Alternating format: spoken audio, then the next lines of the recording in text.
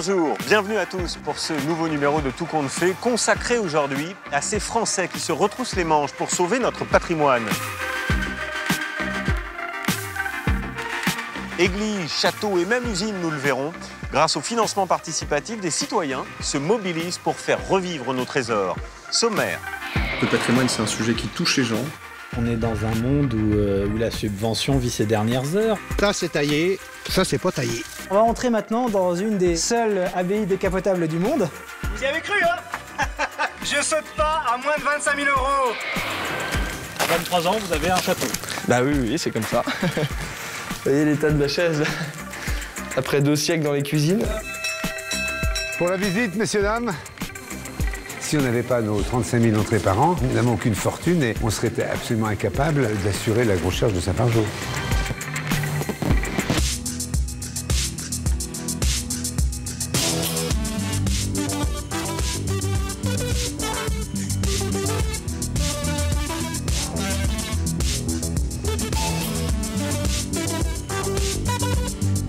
Financement participatif serait-il devenu la solution miracle pour sauver notre patrimoine? En tout cas, depuis quelques années, le système a explosé. On appelle cela le crowdfunding, vous en avez sans doute déjà entendu parler. C'est une forme de mécénat nouvelle génération. Du Louvre au Panthéon, en passant par la rénovation d'une église de village sur Internet, les appels aux dons se multiplient et rencontrent un vif succès. Alors qui sont ces donateurs au grand cœur et ces plateformes? Grand reportage sur un phénomène avec Lise Thomas Richard. Caché dans ce sac de toile, un trésor national estimé à 1,5 million d'euros. Ce matin, il quitte les coffres d'une célèbre maison de vente aux enchères pour une visite discrète à la Bibliothèque nationale de France. Voici le bréviaire de Saint-Louis de Poissy, un recueil de chants religieux qui date d'avant l'imprimerie. 600 feuillets écrits et dessinés à la main qu'il faut manipuler avec la plus grande délicatesse. C'était une commande du roi Philippe le Bel en souvenir de son grand-père, Saint Louis.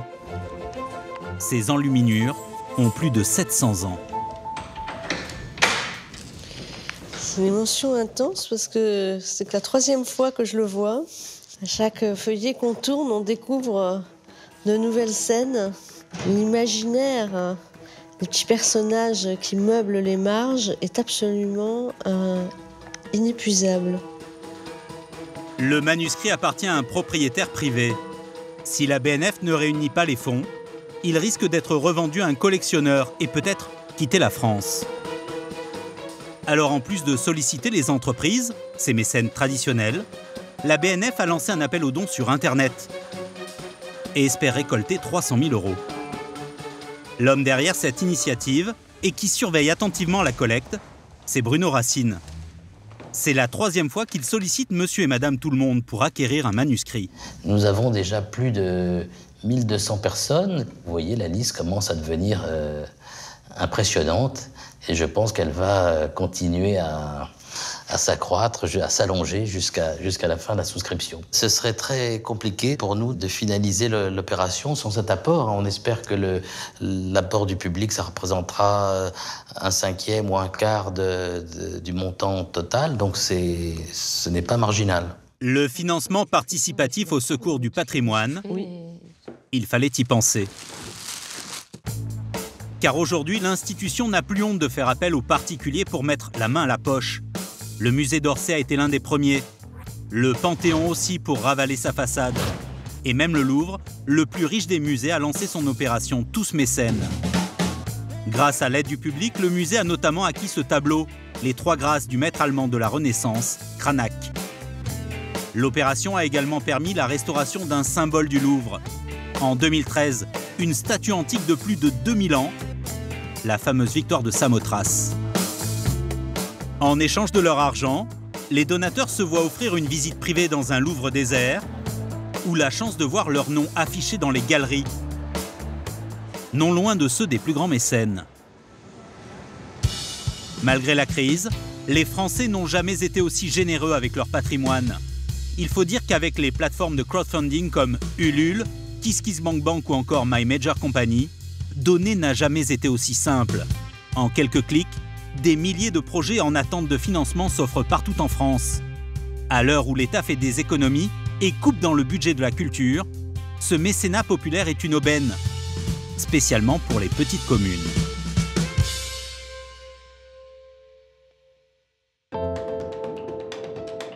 Dans le nord de la Bourgogne, un monument du XVe siècle abandonné à la végétation. Le château de Rochefort aurait pu totalement disparaître sans une bande de joyeux bénévoles. Fais gaffe parce que ça descend quand même vachement là. Lâche pas.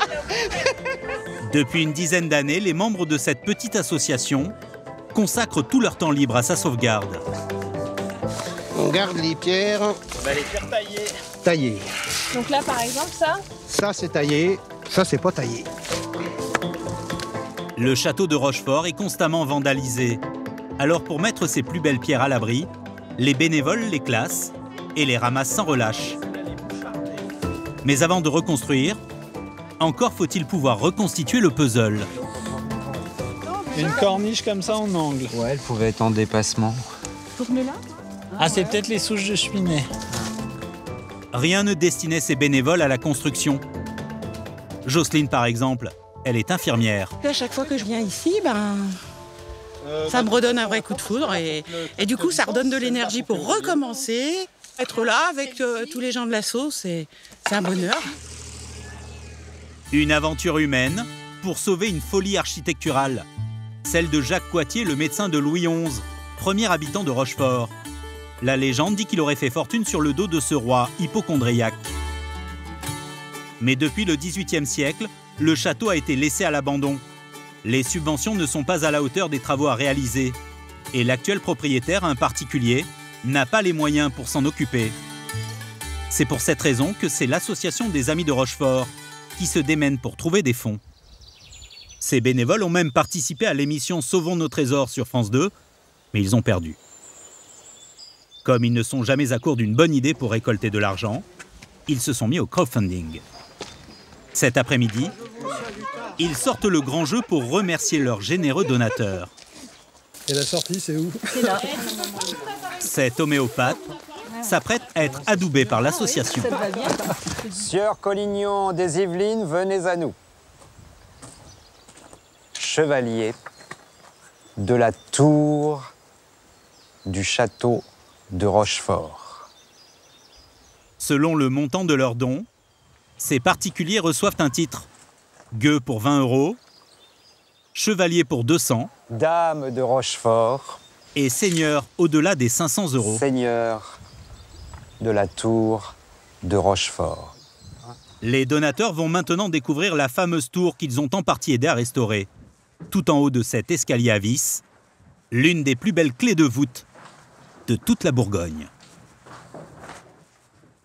Chose qui est quand même particulièrement exceptionnelle, et sans vous, on l'aurait perdu. Merci à vous. Ces donateurs ne connaissaient du château que quelques images sur Internet. Ouais Mais ils n'ont pas hésité à mettre la main à la poche. Pour tous, tous pour Rochefort. Et comme ça J'aime bien les châteaux et puis euh, je me suis dit que, que si je peux contribuer, euh, même à- par une petite somme, euh, c'est euh, c'est une bonne action. quoi. Avant de laisser partir ses donateurs, Bruno tient à leur montrer le prochain chantier, le logis seigneurial et ses magnifiques cheminées.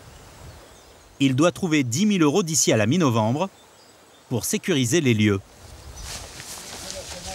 Voilà le nouveau chantier. Ce qu'il y a de sûr, c'est que si on n'a pas trouvé des solutions, et des solutions financières pour l'essentiel, euh, avant la fin de l'hiver, on va avoir un très très gros problème. Autrement dit, on va perdre cette partie du bâtiment. On est dans un monde où, euh, où la subvention vit ses dernières heures. Donc, euh, si aujourd'hui on ne réfléchit pas à des nouveaux moyens pour financer euh, des projets patrimoniaux ou des projets culturels, et ben demain on se retrouvera sans un sou.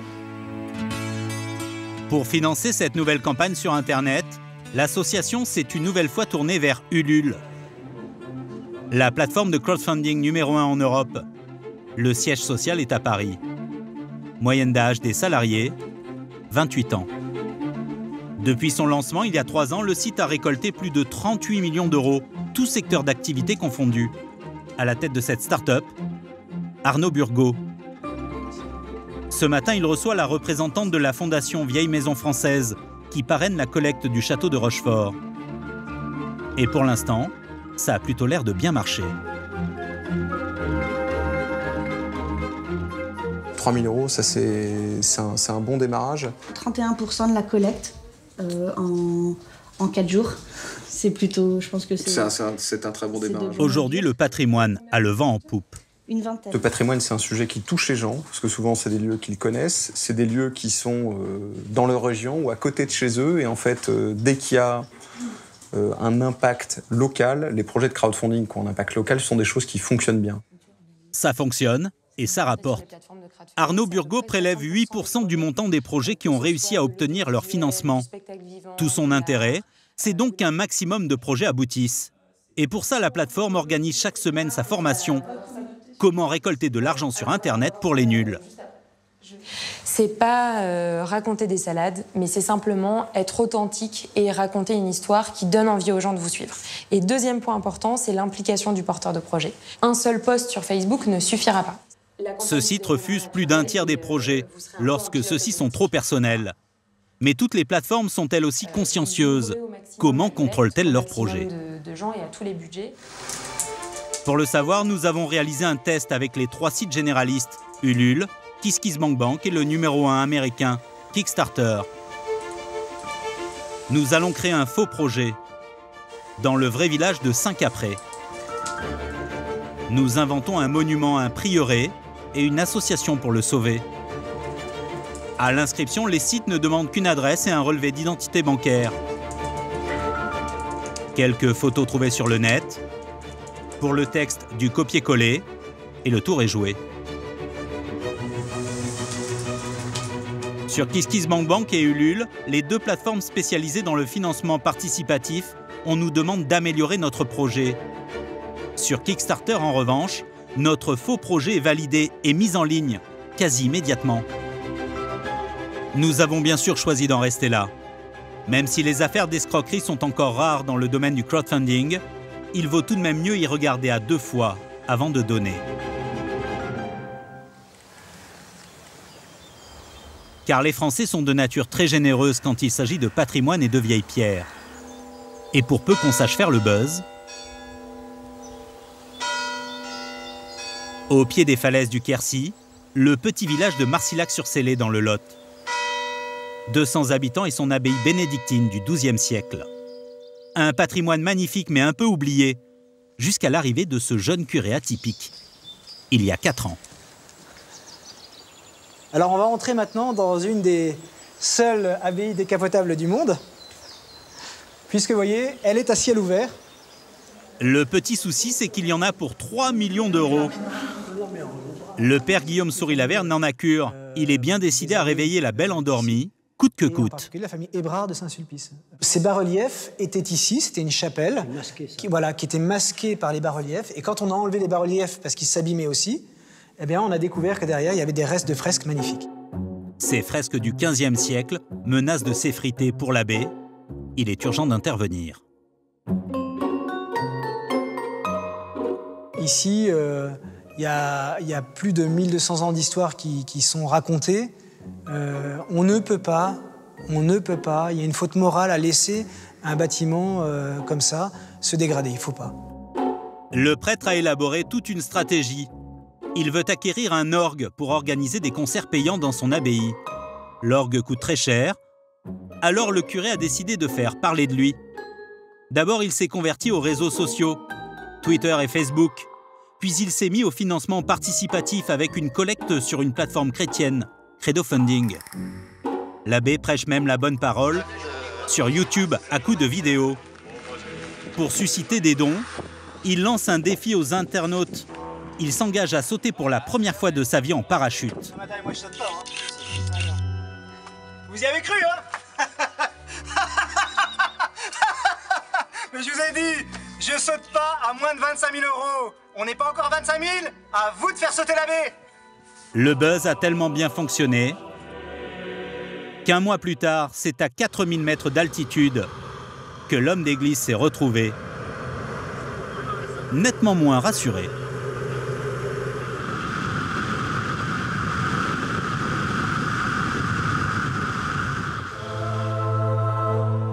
Quelques secondes de chute libre et 5 minutes pour redescendre sur Terre. Bien joué, Père Guillaume Merci, Seigneur Merci, bien joué, Père Guillaume. Vraiment bien joué. Grâce à ce moment de bravoure, le jeune abbé au smartphone a récolté bien au-delà de ce qu'il espérait. Près de 39 000 euros pour son abbaye. Et dans le village, il est devenu une star. Vous n'avez pas vu la réunion publique là Eh ben, je trouve que c'est génial ce qu'il a fait là. C'est une formidable initiative, monsieur le curé. Longue vie Non, bravo, bravo. Allez, à bientôt. Cet après-midi, il va découvrir pour la première fois l'orgue qu'il a pu acheter grâce aux internautes. Bonjour, bonjour Gérard. L'instrument est en restauration chez ce Merci. facteur d'orgue. Donné par une paroisse anglaise, l'orgue a été complètement démonté. Chaque pièce sera parfaitement restaurée, puis remontée. Bon, c'est trop. C'est pour ça qu'il faut. C'est pour ça qu'il faut un orgue. hein. Il faut, un, faut un bon moteur, un bon soufflet parce que. Chaque mécène aura son nom gravé dans les 808 tuyaux de l'instrument. C'est très émouvant parce que je peux pas oublier que là, eh bien, ce sont les dons de centaines de personnes qui permettent aujourd'hui à- à Gérard et à son équipe de travailler dessus, de le restaurer. Dans six mois, les notes devraient résonner dans l'abbaye. Grâce au financement participatif et à l'argent de dizaines de milliers d'anonymes, l'année dernière, une trentaine de monuments ont pu être en partie sauvés.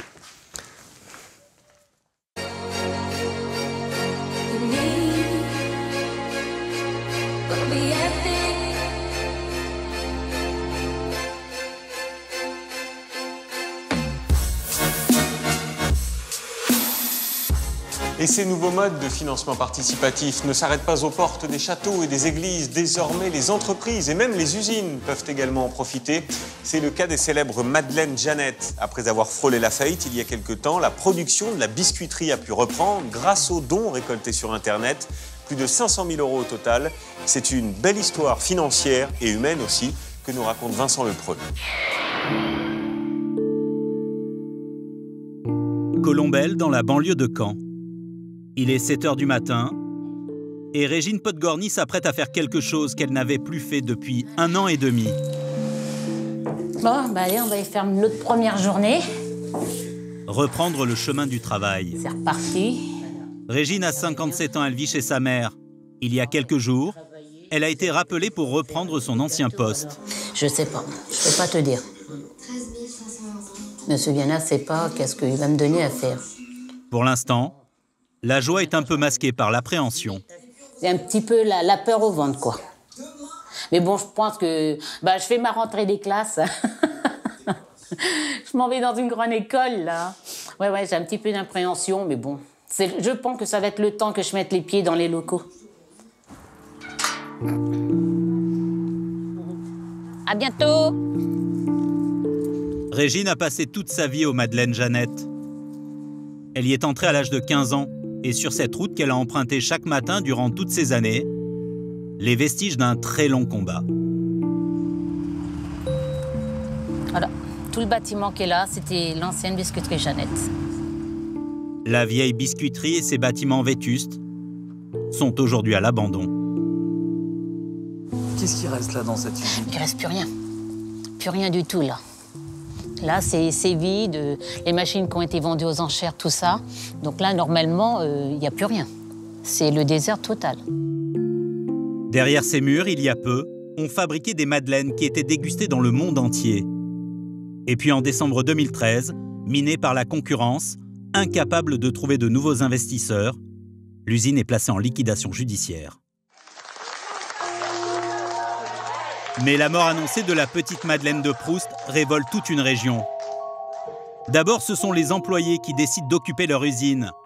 344 jours de lutte et au bout, un petit espoir. Le projet de Georges Viana, un entrepreneur touché par le combat des Jeannettes. Cet énarque spécialisé dans le redressement d'entreprises en difficulté veut sauver ce patrimoine national. Il propose aussi de reprendre le maximum d'anciens salariés. Malgré son expérience, les banques ne suivent pas. L'usine est condamnée à disparaître. Georges Viana n'a plus rien à perdre. Il tente un dernier coup de poker. Il lance un appel aux Français des dons en argent contre des madeleines. C'est ce qu'on appelle le crowdfunding, le financement par la foule. 2076 anonymes répondent présents. Les 100 000 euros récoltés permettent de gagner un peu de temps. Cela a marché une première fois, alors Georges Viana retente le coup. Cette fois, le patron recueille de quoi relancer la machine, 400 000 euros. Dès le mois de juin, Georges Viana commence par réembaucher deux personnes. Puis petit à petit, il réintègre les anciens salariés pour préparer le retour des Madeleine Jeannette. C'est aujourd'hui le grand jour.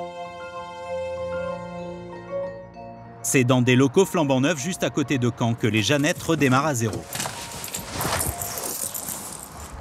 Régine n'avait pas revu ses camarades de lutte depuis des mois. Oh, l'autre Bonjour Marie-Claire travaille à l'installation des nouvelles machines depuis deux mois. Vous allez bien? Janine et Ginette Bonjour, travaillent à la production. Ginette. Elles sont arrivées le matin. Ça fait tout drôle, hein? Ça fait tout drôle. Pour l'instant, ils ne sont que 8.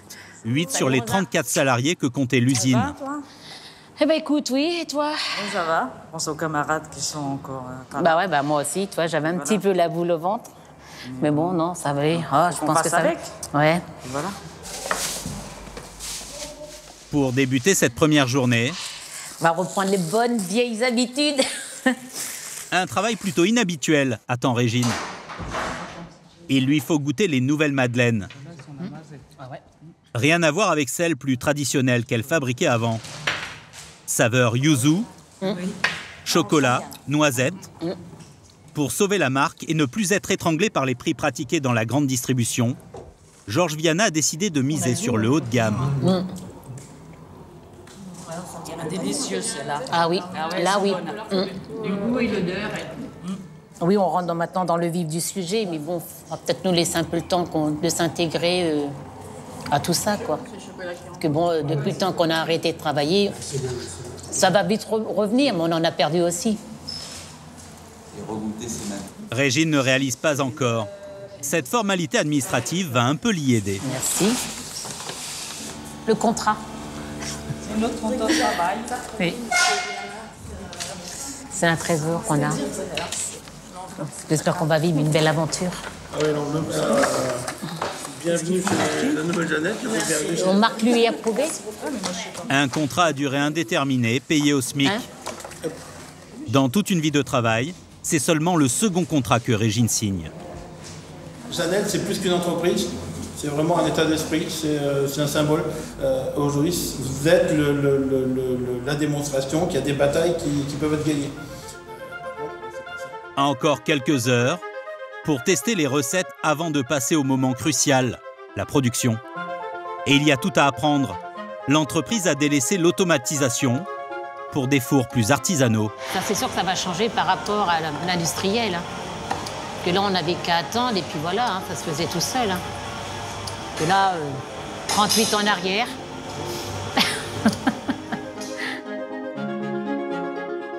Dans ces nouveaux ateliers, il ne suffit plus d'appuyer sur un bouton pour fabriquer une tonne de madeleine. Désormais, on fait fondre le beurre, on pétrit, puis on dose au gramme près. Et on ne cuit que quelques centaines de madeleines à la fois. À voir, il fallait voir. Je faisais à peu près entre 800 et une tonne à l'heure sur une, sur une ligne, sur chaque ligne. Là, je, fais- bah là, logiquement, on est parti pour faire une tonne une journée. Dans la logique des choses. C'est vrai que ce, que ce que je fais en une journée, je le fais sur une heure. C'est totalement, totalement différent. À l'heure de la première fournée destinée à la vente, la tension est palpable.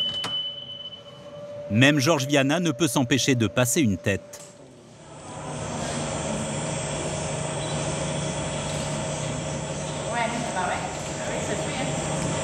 Le bouillet.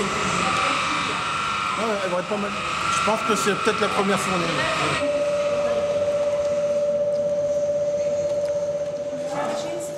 Oh, Billy, pardon, si je t'oublie, ma grande. Nouvelle méthode de production, nouveau goût, nouvelle boîte et même nouveau logo. Dans quelques jours, il faudra être fin prêt. La foire internationale de Caen a lieu et avec elle, le verdict tant attendu du public sur ces nouvelles madeleines de luxe. De retour chez elle, Régine savoure cette sensation de rentrée du travail après un an et demi de chômage. Regarde. Pardon. Ah, c'est ton contre-travail. Oui. Ah, bon. Tu vois? Alors, j'en ai un exemplaire et puis j'ai signé l'autre qu'on a laissé à M. Viana. Mhm, c'est bien. Bah oui, on est arrivé là, ça fait plaisir quand même. Si tout le monde euh, sont repris, ce sera bien.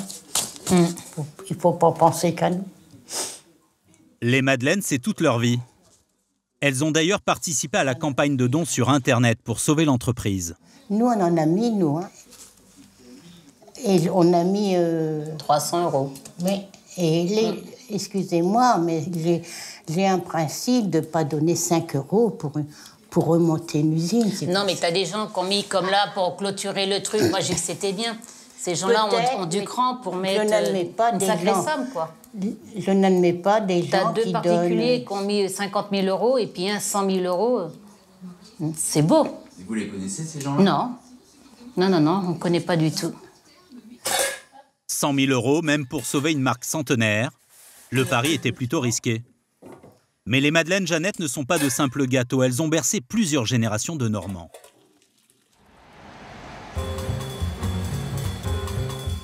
L'un des investisseurs qui est entré au capital est un homme plutôt discret d'habitude. Il habite cette grande propriété à quelques kilomètres de l'ancienne usine. Et en matière d'investissement, Monsieur Réol est quelqu'un de très réfléchi. C'est la seule voiture qui prend du... avec laquelle on va gagner de l'argent. Parce qu'ils ont arrêté la fabrication. Il a vécu près de 50 ans en Amérique latine. Il y a géré un business florissant dans l'automobile. C'est une très jolie voiture. C'est ce qui lui a donné le goût des belles choses. Mais de son enfance à Caen, Monsieur Réol a surtout gardé le goût des bonnes madeleines. L'avoir, déjà, c'est exactement ça. C'était vraiment ça. euh, C'était la récompense. Excellent. Ben, les Madeleines Jeannette, pour moi, ça, ça représente ma jeunesse. C'est donc il y a déjà quelques semaines. Euh, c'était c'était la collation, c'était la grand-mère qui venait avec des madeleines, bien sûr. C'était les madeleines Jeannette, c'était les meilleures. Tout ce que faisait la grand-mère, c'était de- euh, ce qui se faisait le mieux. Alors il a investi spontanément 100 000 euros. Qu'est-ce que vous en attendez, vous, finalement euh, Que cet argent euh, vous rapporte beaucoup? Non, non. On rapporte et m'offre quelques madeleines. Demain, les 200 000 visiteurs de la foire internationale de Caen partageront-ils l'enthousiasme de Monsieur Réol? Quel accueil le public réservera-t-il à ces nouvelles madeleines haut de gamme?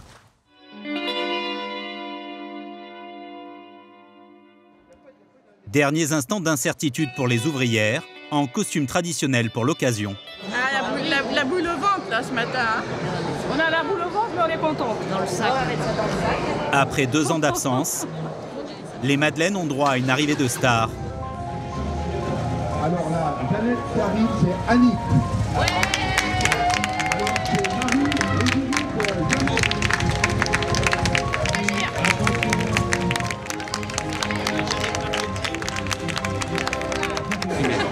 Aïe, le stress est parti. La fête peut commencer. Ah non, c'est bien. Régine, Marie-Claire, Rosa sont immédiatement submergées. C'est bon, on a acheté les madeleines? 6, 7, 7 boîtes pour offrir et faire connaître Jeannette. Aujourd'hui, on avait, on avait dit qu'on passerait absolument sur ce stand. Voilà. Et on voulait dire félicitations aux gens qui se sont battus pour rester sur Caen. Et bon courage pour votre aventure et, et j'espère qu'elle perdurera très très longtemps. Voilà. Voilà. Merci beaucoup. Donc vous m'avez mis les deux boîtes. Oui, donc, c'est ça, c'est ça. Voilà, très bien. Et s'il restait encore quelques doutes quant au succès de leur Madeleine, ils sont rapidement dissipés. La foire n'a commencé que depuis quelques heures et le stand est pris d'assaut. Des 12, on n'en a plus. Alors une unité, une carte. D'accord. Alors des cartes, il n'y en a plus non plus. Il ne reste plus que deux boîtes de pistaches, voyons. Les boîtes de 4, il ne reste pas du coup? Non, non, non, tout est parti. Toute la journée, Georges Viana va vendre ses madeleines, mais il va surtout remercier les donateurs de la première heure. Quelques-uns des 2076 particuliers qui ont fait le déplacement. Ils sont venus se faire rembourser en madeleine. J'ai mis 20 euros. Voilà. Jeannette s'est ancrée euh, dans, dans la vie des Canets, des Normands et voilà. je me devais un peu d'y participer euh, à ma façon. Encore merci à vous parce que c'est grâce à vous bah, que nous sommes là. Ah, c'est pas grand chose, mais enfin voilà. Georges Viana le répète à l'envie. La réussite du jour, c'est celle de ces anonymes. Les banquiers ne nous suivaient pas au départ et donc sans les, sans les particuliers qui nous ont aidés, euh, bah, on ne serait pas là.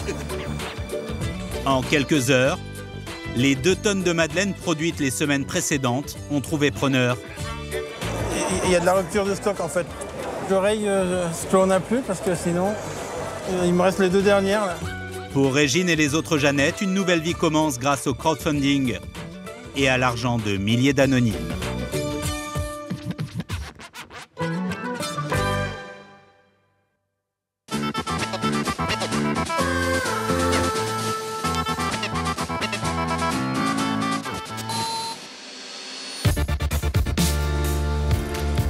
Sauver le patrimoine français, c'est aussi le combat d'une famille pas comme les autres, la famille Guyot. Ce sont des amoureux de la vieille pierre qui font revivre des châteaux en mauvais état. Michel, Jacques, Catherine et leurs quatre enfants, eux aussi utilisent le financement participatif via les billets d'entrée pour les visites. Grâce à eux, des territoires entiers reprennent vie. Une famille au secours du patrimoine, grand reportage signé Hakim Abdelkaleh. C'est l'un des plus beaux châteaux de l'Aube à côté de Troyes. Le château de Vaux est son domaine de 60 hectares. Ils ont appartenu à un ministre éphémère de Napoléon III. Aujourd'hui, l'éclat s'est un peu terni, le domaine n'est plus entretenu depuis plus de 50 ans. Et avec lui, c'est comme si toute une page de l'histoire de France menaçait de s'écrouler. Jusqu'à ce qu'un jeune homme de 23 ans, Édouard Guyot, tombe amoureux de l'endroit et qu'il récupère en juin dernier les clés du château de Vaux. Sauver les chefs-d'œuvre en péril, sa famille a ça dans le sang. Édouard a même arrêté ses études pour consacrer sa vie aux vieilles pierres. À 23 ans, vous avez un château. Bah oui, oui, c'est comme ça. c'est un bâtiment exceptionnel. Moi, j'ai eu le coup de foudre et euh, ouais. je suis propriétaire en tout cas. Vous êtes endetté? Alors endetté sur 20 ans, oui. C'est pas un petit emprunt d'ailleurs. Et euh, donc voilà, à peu près 500 000 euros, voilà.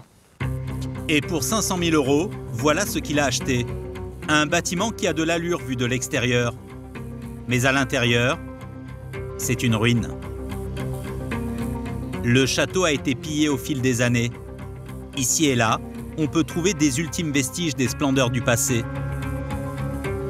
Édouard en a pour plus de 20 ans à le retaper, mais ça n'a pas l'air de l'effrayer plus que ça. Là, on avait un sol euh, en chêne également. On avait un, un, très beau parquet Versailles. On a retrouvé un vestige de ce parquet et, euh, et, tout le reste a disparu. Donc, soit ça a été volé, soit c'était simplement en très mauvais état. Ils ont tout démonté, vous voyez. Et on a encore un très joli papier peint, qui est un papier peint 18e, qu'on a prévu de, de, faire restaurer. La restauration, un exercice parfois périlleux. Coût estimé des travaux, 2 millions d'euros dont une bonne partie va être absorbée par la seule toiture. En urgence, Édouard a fait installer de la tôle, le temps de pouvoir poser les tuiles en ardoise. Mais pour faire rentrer de l'argent rapidement dans les caisses, Édouard a un plan, un modèle que son père et son oncle, propriétaires de château aussi, ont mis au point il y a très longtemps. Déjà, il y a l'accueil d'une colonie de vacances à partir de l'année prochaine, qu'on est toujours en train de rechercher. Il y a le projet touristique, donc voilà, 5 à 10 000 visiteurs par an. Bon, voilà, ça fait des petites sommes, mais tout ça mis bout à bout peut générer des revenus et surtout euh, rembourser les emprunts. Et également une salle de réception avec un gîte de groupe.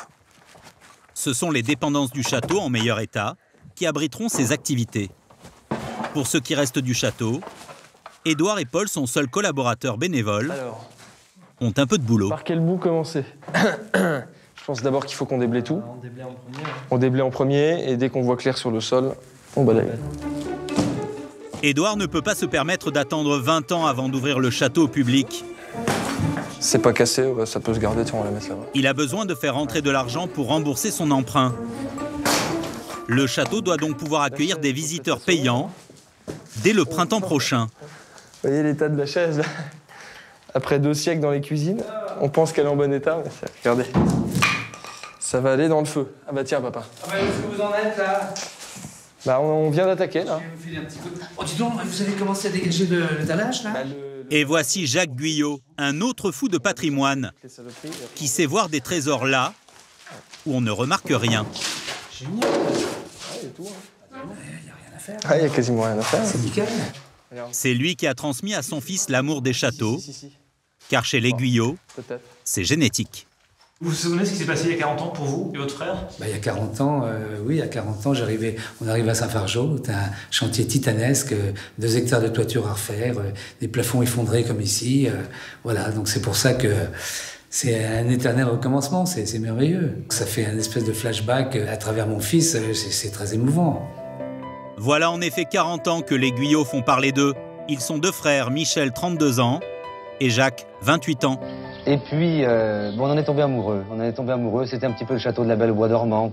Contrairement aux apparences, ils ne sont ni nobles ni riches à millions.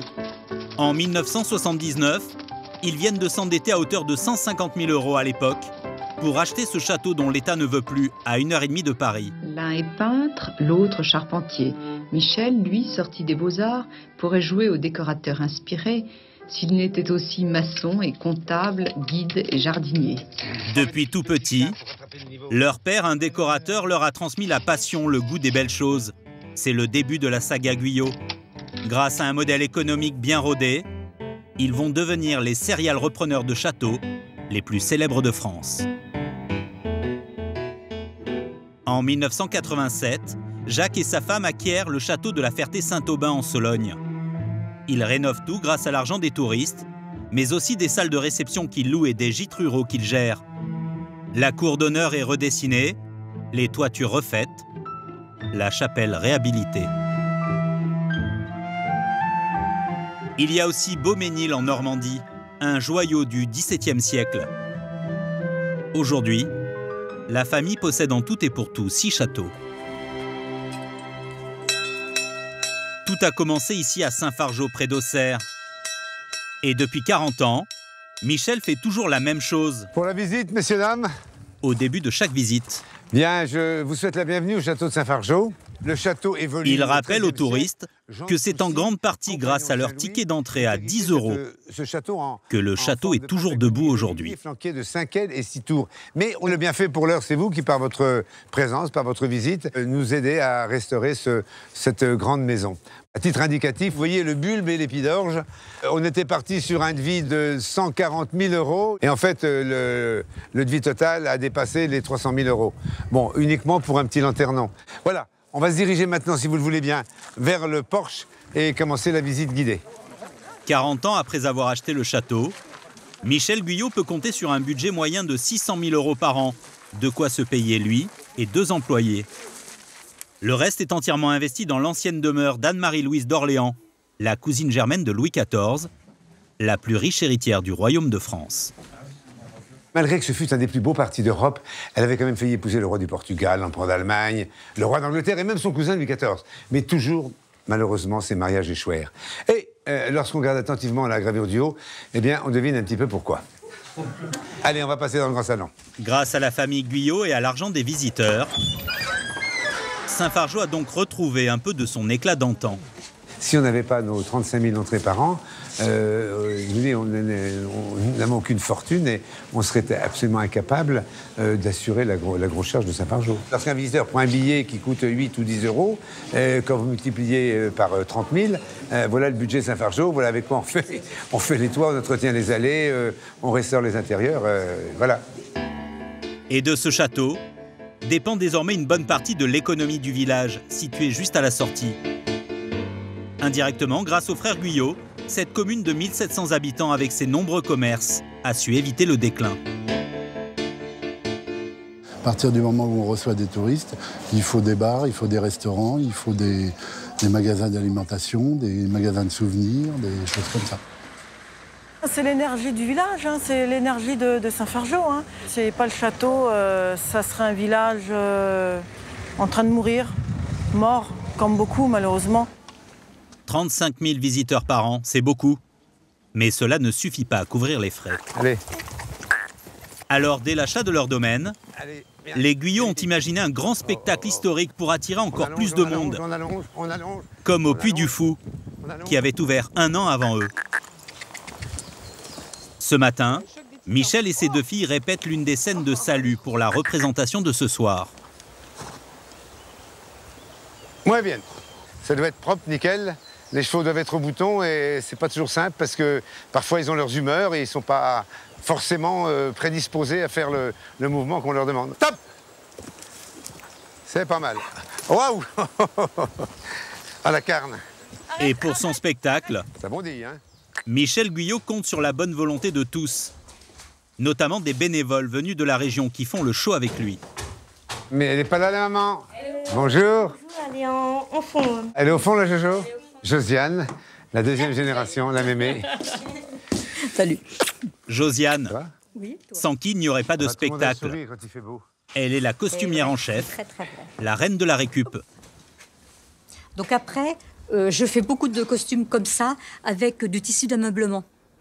Alors, où on les achète, où il y a des gens qui nous voient quand on passe à la télé et qui nous donnent leur euh, double rideau. Et avec les doubles rideaux, on fait des costumes comme ça, vous voyez, de marquis.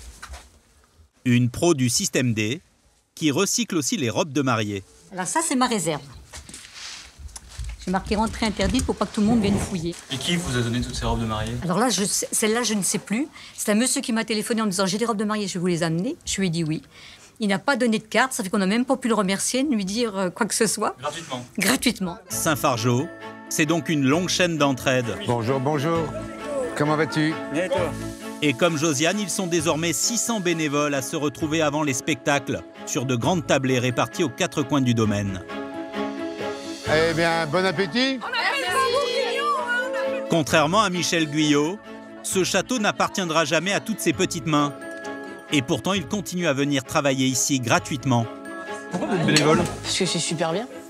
C'est le château, c'est une deuxième famille, c'est juste génial.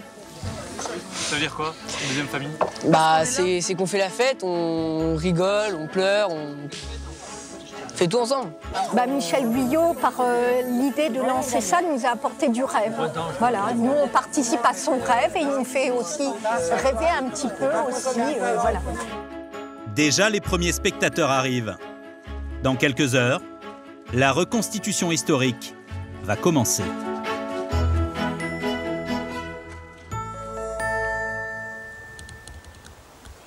Au cœur de la Dordogne, non loin de Bergerac.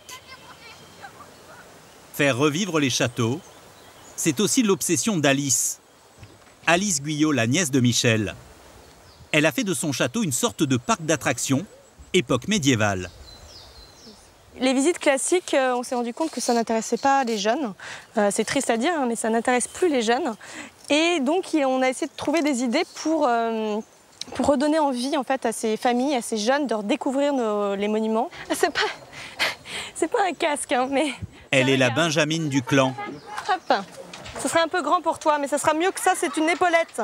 19 ans et déjà de grosses responsabilités.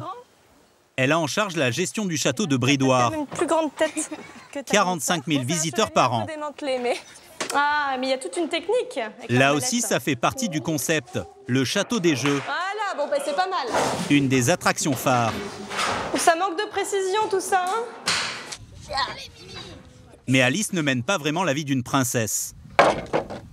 Elle est au four et au moulin pour préparer elle-même les repas des visiteurs. Si tu peux après les mettre derrière, tes quiches. À 19 ans, elle a préféré stopper ses études pour faire comme le reste de la famille. Quand on est passionné, il faut aller au bout de ses passions. Et, euh, et ça, généralement, ça nous le rend bien. Quand on est motivé, euh, ça marche. C'est avec son père Jacques qu'elle entreprend de sauver ce château. Quand les Guyot arrivent en 2011, il appartient à la famille de l'empereur Bokassa, ancien dirigeant de la Centrafrique. Il voulait installer ici son fils et sa future compagne.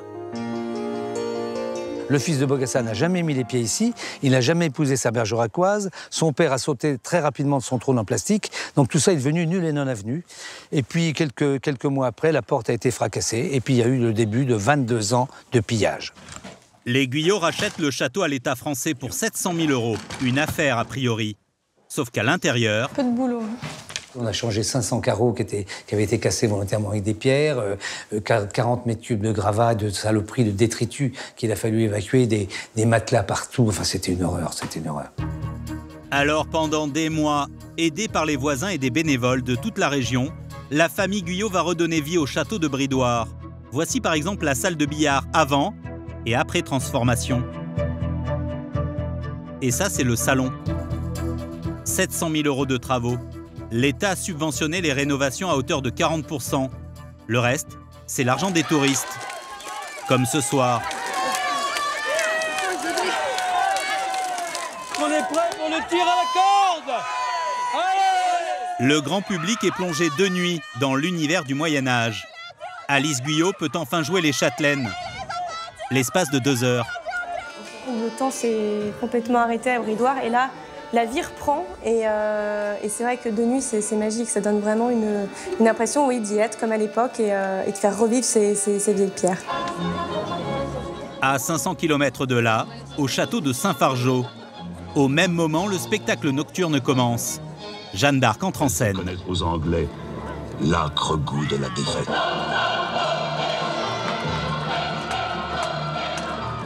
Face aux 4000 spectateurs ce soir, ce sont 600 bénévoles et 1000 ans d'histoire qui défilent. Jeanne d'Arc, la Révolution française, la Libération, la grande histoire se mêle à celle du château et ses péripéties reconstituées en 3D.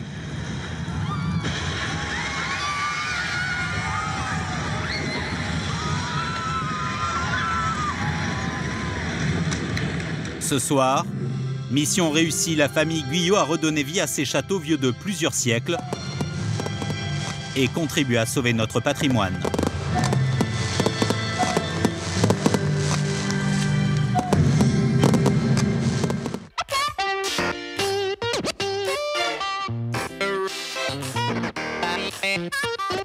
Et grâce à la famille Guyot, six châteaux en France ont déjà été sauvés, avec à chaque fois des retombées en termes d'emploi et d'activité. La semaine prochaine, changement d'univers. On prendra la route des vacances, voyages thématiques, week-end collaboratifs ou encore immersion à la découverte d'un métier. On s'intéressera au boom des vacances sur mesure. Rendez-vous samedi prochain, 14h40 sur France 2 pour Tout compte fait. Merci de votre fidélité d'ici là, n'oubliez pas, restez curieux. Bye bye.